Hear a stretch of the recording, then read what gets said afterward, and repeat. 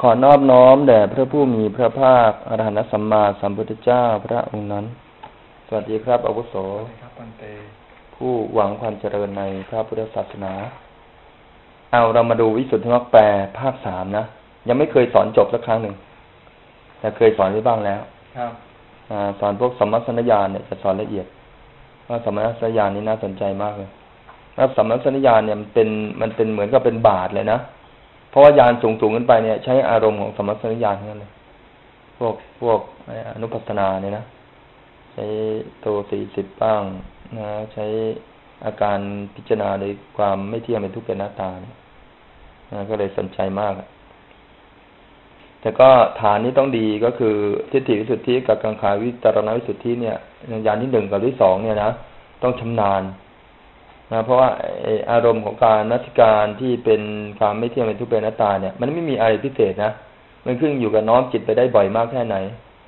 นะก็เหมือนกับการฝึกในการอ่านหนังสือนะถ้าจำตัวอักขระนะตัวพยัญชนะได้หมดเรียบร้อยแล้ว ตอนนี้ก็อ่านอย่างเดียว อ่านนี้มีความชำนาญอ่านอ่านอ่านอ่านไปจนกระทั่งเห็นแล้วก็เข้าใจความหมายไปเลยนะก็คล้ายกันนะ ในวิสุทธิมรรคแปลภาคสามนะที่ใช้ชุดของมหามกุฏ ของคุณดูชุดนี้ใครทำนะเล่มสีแดงเนี่ยของสมเด็จพระพุทธาจารย์อ่านอาสภะมหาเถระนี่ก็พิมพ์ใหม่นะความจริงแล้วเป็นของเก่าเนี่ยเอามาพิมพ์ใหม่นะครับพระพุทธศาสนาจารย์อ่านอาสภะเนี่ยอ้าวก็ดูเปรียบเทียบกัน แล้วก็ดูดีกาประกอบไปด้วย อันนี้เป็นวิสุทธิมรรคแปลภาคสามซึ่งเป็นตอนจบนะปัญญานิเทศนี่จะมีสองตอนนะ ก็คือตอนตอนหนึ่งกับตอนจบนะปัญญานิเทศภาคแรกเนี่ยจะเป็นเรื่องของอวิปัสสนาภูมินะขันอายตนะธาตุสัจจะอินทรีย์ปฏิจจสุบาทซึ่งก็พอจะเรียนรู้ไปบ้างแล้วนะ สมาธินิเทศจะมีสามภาคนะสามภาคนะ ภาคหนึ่งตอนสองภาคสองตอนหนึ่งแล้วก็ภาคสองตอนสองส่วนสีและนิเทศมีหนึ่งภาค ภาคหนึ่งตอนหนึ่ง นะสำหรับเล่มชุดของมหามกุฏนี้ เราจะเรียนตอนจบเลยนะไอเวลาที่ไปสอนนักศึกษาก็สอนตอนจบเหมือนกันจะเป็นอย่างนี้นะ คือชอบสอนตอนจบแล้วก็มาตอนเหมือนกับอะไรเรียนปัจฐานก่อนนะแล้วค่อยมาเรียนเรื่องจิตเจตสิกเรื่องรูปทีหลังไงชอบไปเอายอดมาก่อนไงมันจะฉลาดทั้งหลายก็เรียนอย่างนี้หรือเปล่าฮะรู้เห็นบางคนก็ฉลาดมากเลยนะแล้วก็เปิดหนังสืออ่านก็จะต้องไปดูตอนหลังก่อน ว่าตอนจบมันว่ายังไง แล้วก็ก็เปิดไล่ๆมาตอนกลางแล้วต้น เออแปลกดีมัน อยากจะรู้ไงว่ามันไปจบที่ไหนใช่ไหมอ่ามาเริ่มต้นทิฏฐิวิสุทธินิเทศ บัดนี้วิสุทธิทั้งหลายใดที่ข้าพเจ้ากล่าวไว้ว่า วิสุทธิอันเป็นมูลสองก็คือศีลวิสุทธิหนึ่งกับจิตตวิสุทธิหนึ่งอันพระโยคาวจรทำความพอกพูน ความรู้โดยการเล่าเรียน และสอบถามในธรรมทั้งหลายที่เป็นภูมิ ก็คือภูมิแห่งวิปัสสนามีขันเป็นต้น เหล่านี้แล้วพึงทำให้ถึงพร้อมเถิดดังนี้ ในวิสุทธิสองนั้น ศีลสี่อย่างมีปาติโมกขะสังวรศีลเป็นต้นที่บริสุทธิ์ดี ชื่อว่าศีลวิสุทธิ อันศีลสี่อย่างนั้นข้าพเจ้าก็ได้กล่าวไว้ให้พิสดารแล้วในศีลนิเทศนั่นแหละ นะก็ได้แก่อะไรบ้าง ปฏิโมกขะสังวรศีลอย่างหนึ่งนะหรือว่าศีลสังวรนะ อินเดียสังวรสำรวมอินทรีย์หกอย่างหนึ่งอาชีวบริสุทธิก็มีความเพียรในการเสริมหาเรื่องชีพอย่างบริสุทธิ์ แล้วก็ปัจจยานิสิตศีลแล้วก็ได้แก่การพิจารณาปัจจัยนะมีปัญญาในการพิจารณาปัจจัย มีกำลังมีความสามารถในการบริโภค โดยที่ไม่มีโทษ ศีลนี้ก็เป็นเบื้องต้นของพรหมจรรย์นะ เหมือนกับที่พระพุทธเจ้าตรัสไว้ในพิคูสูตร สังยุตติกายมหาวรวัคก็ตรัสว่าดูก่อนพิสูทั้งหลายเพราะเหตุนั้นแหละ เธอทั้งหลายจงยังเบื้องต้นในกุศลธรรมให้บริสุทธิ์ก่อนเบื้องต้นของกุศลธรรมคืออะไร ก็คือศีลที่บริสุทธิ์ดี แล้วก็ทิฏฐิอันตรงนะ คือความเห็นความเห็นชอบความเห็นที่ตรงนั่นเอง เมื่อใดศีลของเธอจักบริสุทธิ์ดีและ ความเห็นของเธอจักตรง เมื่อนั้นเธออาศัยศีล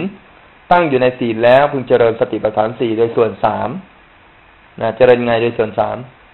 ก็พิจารณาเห็นกายในกายภายในบ้าง พิจารณาเห็นกายในกายภายนอกบ้าง พิจารณาเห็นกายในกายทั้งภายในและภายนอกบ้าง อันนี้โดยส่วนสามนะอ่าพิจารณาก็ อันนี้อยู่ในสังยุตในกายมหาวรวัตนะเอาข้อความในที่นั้นมานะแต่ก็ให้เห็นความสำคัญของศีลว่า ต้องเป็นเบื้องต้นของพรหมจรรย์ดังนั้นใครเจริญสมถะวิปัสสนาโดยที่ไม่ตั้งใจรักษาศีลนะ อันนี้ก็ให้รู้เลยว่ายังไงก็ไม่ประสบความสำเร็จ เพราะมีหลายที่เลยที่ไม่ได้ขวนขวายไม่ได้สนใจที่จะศึกษารักษาศีลแต่ว่ามุ่งจะปฏิบัติกันนะก็ให้รู้เลยว่าล่วงเลยนะล่วงเลยคำสอนไปแน่นอนเพราะศีลนั้นเป็นบาตเป็นมูลเป็นเบื้องต้นของพรหมจรรย์ส่วนสมบัติแปดพร้อมทั้งอุปจาระนะชื่อว่าจิตตวิสุทธิ แม้สมบัตินั้นเล่าข้าพเจ้าก็ได้กล่าวให้พิสดารในอาการทั้งปวงในสมาธินิเทศที่กล่าวโดยหัวข้อก็คือจิตแล้วเหมือนกันนะเพราะเหตุนั้นวิสุทธิสองนั้นบัณฑิตพึงทราบตามในที่ข้าพเจ้าได้กล่าวแล้วให้พิสดารนะในนิเทศทั้งสองนั้นเถิด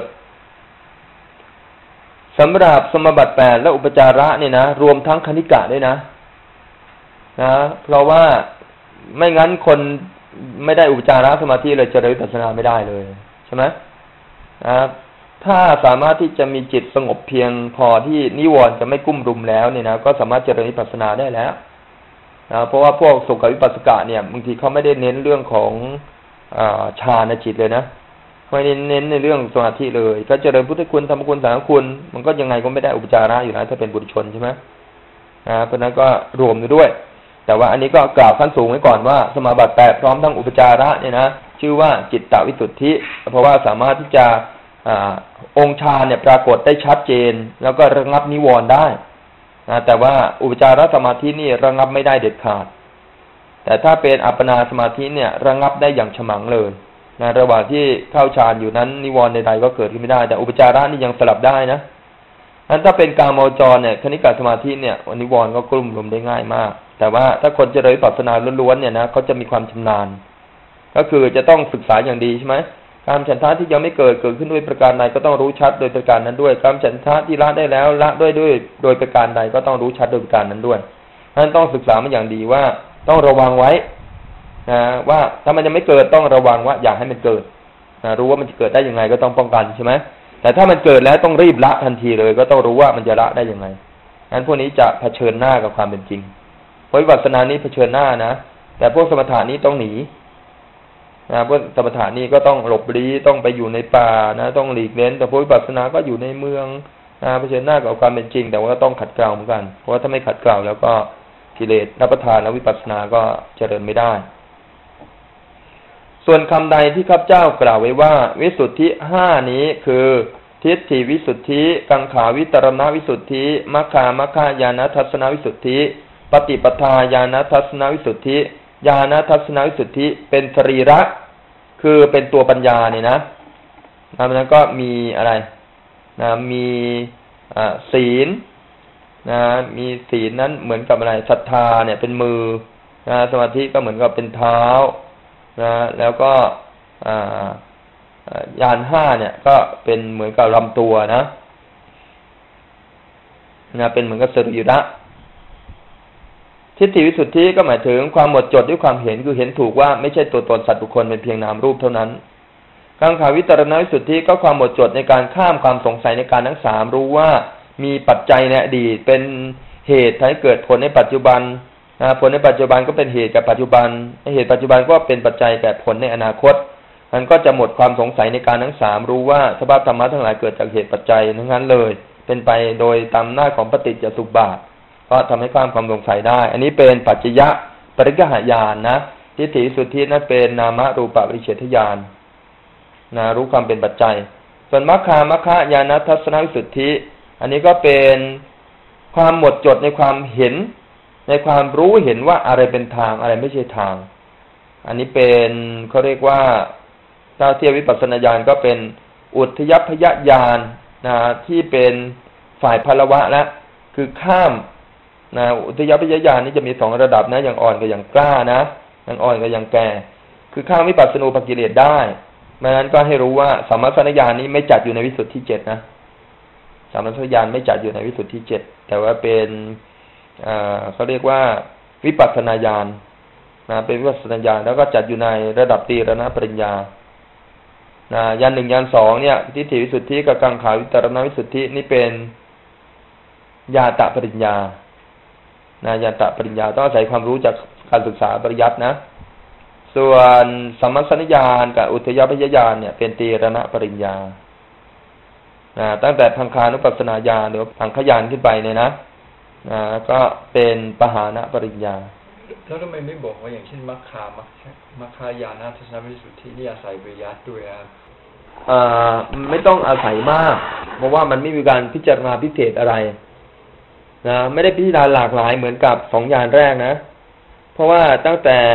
สมัญญาณขึ้นไปเนี่ยนะอาศัยการน้อมจิตไปโดยความไม่เที่ยงเป็นทุกข์เป็นหน้าตานั่นเองแต่มันก็เป็นไปในอาการต่างๆเนี่ยครับเช่นเป็นเป็นในอาการต่างๆไง แต่ว่าคุณจะพิจารณาอาการเดียวสองอาการก็ได้ครับถ้าคุณหลากหลายมากคุณชอบพิจารณามากคุณก็เอาการต่างๆ โตสี่สิบโตสี่สิบนั้นไม่จำเป็นต้องพิจารณาทั้งสี่สิบก็ได้ครับนะคุณชอบพยัญชนะไหนแล้วทำให้คุณเห็นจริงว่ามันไม่เที่ยง นะหรือเป็นทุกข์หรือเป็นอนัตตาคุณก็ใช้พยัญชนะนั่นแหละน้อมจิตน้อมใจไปจนกระทั่งเห็นจริง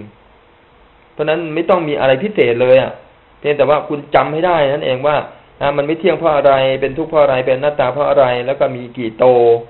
นะจะต้องพิจารณาอย่างไรนะขนาดสมมัสนะนี่ต้องมีการศึกษานะต้องมีการศึกษาระดับหนึ่งเหมือนกัน เพราะว่าจะต้องพูดถึงเรื่องของพวกกรรมมัชะจิตตะสมุทฐานอะไรพวกเนี้ย จิตตปัจจยะจิตตสมุทฐานนะอุตุปัจจยะอุตุสมุทฐานอะไรพวกนี้ต้องมีเหมือนกันนะถ้าจะพิจารณาให้ละเอียด แต่ถ้าใครไม่ละเอียดก็น้อมพิจารณาไม่เที่ยงเป็นทุกเป็นอนัตตาอย่างเดียวอ่าเพราะฉะนั้นถ้าน้อมพิจารณาไปแล้วเนี่ยนะคุณสามารถเห็นอาการนั้นได้จริงไหมถ้าคุณเห็นอาการนั้นไม่จริงแสดงว่าปัญญาคุณไม่พอคุณก็ต้องมาศึกษาเพิ่มเติม เพราะคนที่ก็จะใช้ย่อๆนี่ ต้องมีปัญญาใช่ไหมถ้าถึงจะเห็นแจ้งแทงตลอดจริง ๆ แต่ถ้าคนไม่มีปัญญา คุณก็ต้องมาศึกษาให้ละเอียด แล้วก็ใช้พยัญชนะเยอะนั้นในระหว่างพระสูตรกับพระพิธรรมนะ คนศึกษาคนฟังพระสูตรแล้วบรรลุกับคนฟังอภิธรรมแล้วบรรลุ คนที่ศึกษาพระสูตรฟังแล้วบรรลุนั่นมีปัญญามากกว่านะ คือก็ฟังย่อๆเขาก็บรรลุได้อะแต่ว่าพิธรรมนี่ต้องละเอียด เพราะฉะนั้นนี่แสดงว่าปัญญาน้อยกว่าถึงบรรลุได้นะนะส่วนปฏิปทาญาณทัศนวิสุทธินะ ก็เป็นการรู้เห็นความหมดจดของการรู้เห็นในทางดำเนินนะดำเนินไปสู่อริยมรรคนะอันนี้ก็ตั้งแต่นั่นแหละพังคานุปัสสนาขึ้นไปนะตั้งแต่พังคานุปัสสนาขึ้นไป ซึ่งเป็นปหานาปริญญา อันเนี้ยเป็นปฏิปทาญาณทัศนวิสุทธิ ส่วนญาณทัศนวิสุทธิ อันนี้หมายถึงตัวมรรคญาณเลยนะ เป็นความหมดจดในการรู้ในความเห็น นะนี่หมายถึงมรรคญาณทั้งสี่สี่ระดับนะ ดังนี้ ความเห็นนามและรูปโดยถ่องแท้ชื่อว่าทิฏฐิวิสุทธินะเขาเรียกว่า นามรูปะนะนามรูปานังยถาวะยาถาวะทัศนังนะ การรู้เห็นนามรูปโดยถ่องแท้คือตามความเป็นจริงนั่นเอง ชื่อว่าทิฏฐิสุทธิ ในคำนั้นนะในคำนั้นก็หมายถึงอะไร ส่วนคำที่ข้าพเจ้ากล่าวไว้ว่าวิสุทธิห้านี้ไงนะก็ เริ่มต้นจากที่ถิวิสุทธิก็คือการเห็นนามรูปโดยถ่องแท้ เห็นนามรูปตามความเป็นจริงนั่นเอง นะอันนี้ก็เริ่มต้นนะ มาดูในดีกาว่าอย่างไง ความบาลีว่ายาวิสุทธิโย สัมปาเดตบา วิสุทธิเหล่าใด อันโยคาวจรพึงทำให้ถึงพร้อม ในธรรมทั้งหลาย อันเป็นภูมิแห่งวิปัสสนามีขันเป็นต้น นี้แสดงว่าต้องเรียนวิปัสสนาภูมิมาดีแล้วนะตามที่ได้วิจารณ์ไว้แล้ว เหล่านี้การเรียนคำพีคือการทำให้คล่องปากเห็นไหมต้องท่องอชื่อว่าอุกหะก็คือการเรียน ความปรารถนาเพื่อรู้เนื้อความโดยรอบ แม้โดยประการทั้งปวง ชื่อว่าปริปุชาหมายถึงสอบถาม นะ บางที่บอกนี้ว่า โอคหะนี่คือเรียนบาลี ปริปุชานี่คือเรียนอัตถกถา นะ แต่ว่าหมายถึงการสอบถามก็ด้วยนะ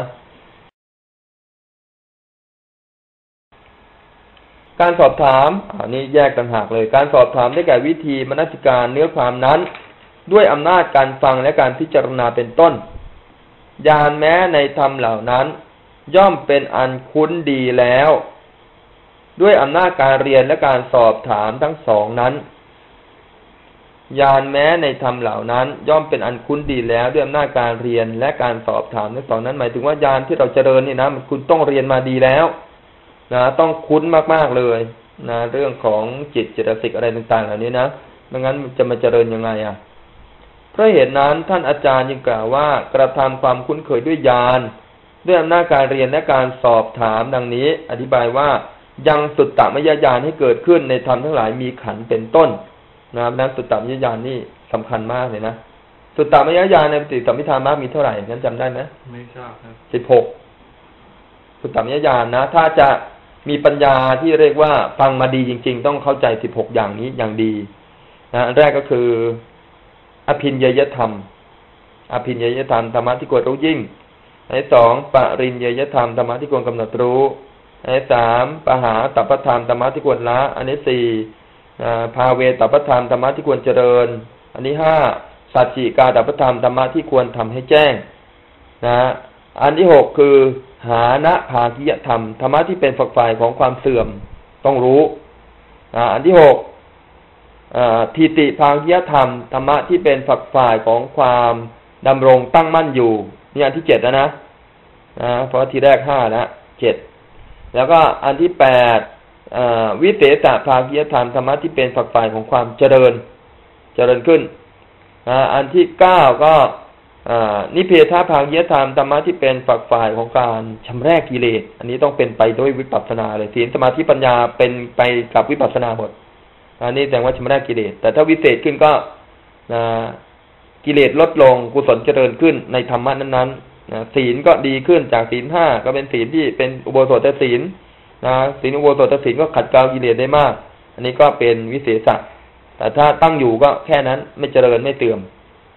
นะถ้าเสื่อมก็อย่างว่าไปคบค้ากับคนที่เลวทราม เช่น มีศีลก็ไปคบค้ากับคนผู้ศีลนะเดี๋ยวก็เสื่อมแน่นอนนี่อีกสี่เป็นเก้านะ แล้วก็สเปสังขารานิจจา สังขารทั้งหลายไม่เที่ยงสเปสังขารา ทุกขาสังขารทั้งหลายทั้งปวงเป็นทุกข์สเปธรรมานาตาทำทั้งหลายทั้งปวงแก่หน้าตาเป็นเท่าไหร่สิบสองเลยนะต้องรู้ว่าสิ่งใดที่ไม่เที่ยงบ้าง สิ่งใดเป็นทุกข์บ้าง สิ่งใดเป็นนตาบ้างนะต้องเรียนรู้เข้าใจหมด แล้วก็อีกสี่อย่างคือ อีดังทุกขังอริยสัจจังนี้ทุกอริยสัจนะอีดังทุกขสมุทโยอริยสัจจังนี้ทุกขสมุทัยอริยสัจอีดังทุกขันิโรโทอริยสัจจังอีดังทุกขันิโรธขามินียะปฏิปทายะ อริยสัจจังนะอันนี้ก็อีกสี่เป็นสิบหกข้อ อันสิบหกข้อนี้ต้องเรียนรู้นะไอ้สี่ข้อหลังนี่ก็ละเอียดมากแล้วนะยานสิบสองอะเออะไรนะรอบสามอาการสิบสองนะตัวไอ้หมวดห้าหมวดแรกนี่ต้องรู้หมดเลย ตั้งแต่หมวดหนึ่งถึงหมวดสิบนะหมวดหนึ่งถึงหมวดสิบแล้วก็ธรรมะสองร้อยหนึ่งนะ มันเป็นอภินญยธรรมปริญญยธรรมหมด ตังหาตัพธรรมก็กิเลสหมวดหนึ่งถึงหมวดสิบแต่ว่ากิเลสพันห้าตัณหาร้อยแปดต้องเรียนรู้หมดจากทสุตรสูตรนี่มันครอบตรงนี้หมดเลยไหมครับอ่าทสุตรสูตรครอบหมดเลยด้วยครอบหมดเลย กว้างกว่าด้วยครับทสุตรสูตรนี่นะกว้างกว่าเลยนะกว้างกว่ากว้างกว่าเยอะไหมครับ เยอะอ่าเพราะว่าอ่ามันมีทั้งหมดเท่าไหร่ร้อยบทใช่ไหม นะหมวดสิบสิบหมวดอะห้าร้อยห้าสิบอ่าแต่แจกหัวข้อมาแล้ว มันก็กลายเป็นห้าร้อยห้าสิบแจกหัวข้อมาเป็นห้าร้อยสิบนะท่านกว้างกว่า กว้างกว่าสุตตมยญาณเนี่ยแต่ว่าถ้าโดยอัฏฐานะ อันเดียวกันเลย ถ้าเป็นอัฏฐะเนี่ยมันอันเดียวกันเลยนะนะเพราะว่าในทั้งหมดเลยเนี่ย บอกแล้วไงว่ากุศลธรรมทั้งหลายเนี่ยนะไม่พ้นจากอริยสัจสี่ใช่ไหม เพราะนั้นในทัศสูตรแต่ละสูตรมันก็คืออริยสัจสี่สามารถจะมาจัดลงในอริยสัจสี่ได้หมดแม้ในสุตตามยญาณนี่นะก็ทั้งหมดก็อยู่ในอริยสัจสี่นั่นแหละแต่เรามาจำแนกให้ละเอียดขึ้น ให้เห็นได้กระจ่างให้เห็นได้หลากหลายมากขึ้นสิบหกหัวข้อนี้เขาเรียกว่าอะไรครับอาจารย์เขาเรียกสุตตามยญาณสุตตามยญาณใช่คนที่จะมีสุตตามยญาณตามปฏิสัมพิธามาก็คือต้องรู้สิบหกข้อนี้อย่างดี แต่ว่าแจกไปเยอะแจกไปเยอะ ก็อภินญยธรรมอะไรห้าหมวดนั่นก็จากทัศสุตรสูตรแต่ถ้าเอาตามปฏิสัมพิธามักนะมันแจกธรรมะสองร้อยหนึ่งหมดเลยอะนะพิญญยธรรมนี่นะต้องไปแจกธรรมะสองร้อยหนึ่งปริญญายุทธรรมก็ธรรมะสองร้อยหนึ่งนะได้มาแจกหมดเพราะนั้นก็ถ้ามีสุดต่ำยญาณดีนะก็ อันนี้ก็เป็นต้นทุนละ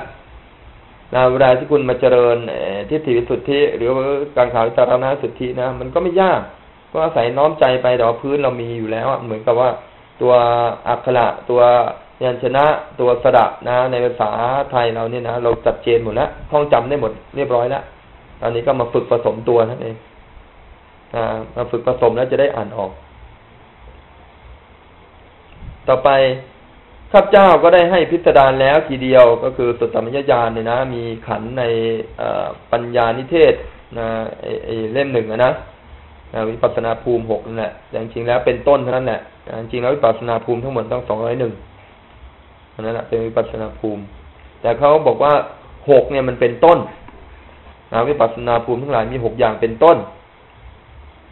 อธิบายว่าเพราะเหตุนั้น โยคาวจรพึงยังศีลวิสุทธิให้ถึงพร้อม ตามทำนองในที่ข้าพเจ้าให้พิจารณาแล้วในศีลนิเทศนั้น แม้อุปจารสมาธิก็ชื่อว่าจิตตาวิสุทธิเหมือนกัน เพราะความเป็นที่ตั้งแห่งวิปัสสนาเหมือนอย่างอัปปนาสมาธิ เพราะเหตุนั้นท่านอาจารย์จึงกล่าวว่าพร้อมทั้งอุปจาระ พึงทราบคือบัณฑิตพึงทราบเกี่ยวกับความบังเกิดในสันดานของตนนั่นเอง มีอัดอธิบายว่าก็วิสุทธิทั้งสองนั้น ย่อมชื่อว่าเป็นอันบัณฑิตทราบแล้วโดยประจักษ์อย่างนี้ เพราะเหตุนั้นจึงพึงทราบคือทำให้ถึงพร้อม นะ บอกว่าให้เกิดในสันดานของตน นะคืออะไร เพราะเหตุนั้นวิสุทธิทั้งสองบัณฑิตพึงทราบตามไหนข้าพเจ้าเก่าแล้ว ให้เทศดาในเทศทั้งสองนั้นเถิดส่วนคำใดว่า วิสุทธิห้านี้เป็นตัวสรีระ วิสุทธิอันเป็นมูลสองคือศีลวิสุทธิ จิตวิสุทธิ อันพระโยคาวจรทำความพ่อคูณ ความรู้โดยการเล่าเรียนและสอบถาม ในธรรมทั้งหลายที่เป็นภูมิ มีวิปัสนาภูมิเนี่ยนะคือวิปัสนามีขันเป็นต้นเหล่านั้นแล้วพึงทำให้ถึงพร้อมเถิดไอ้คำว่าทำให้ถึงพร้อมเนี่ยนะ หมายถึงว่า ย่อมชื่อว่าเป็นอันบัณฑิตทราบแล้ว โดยประจักษ์อย่างนี้เพราะเหตุนั้นจึงพึงทราบว่าทำให้ถึงพร้อมนะก็ที่สุดที่สองนั้น ย่อมชื่อว่าเป็นอันบัณฑิตทราบแล้ว โดยการประจักษ์อย่างนี้หมายถึงว่าศึกษามานะทำความเข้าใจมาอย่างดีแล้ว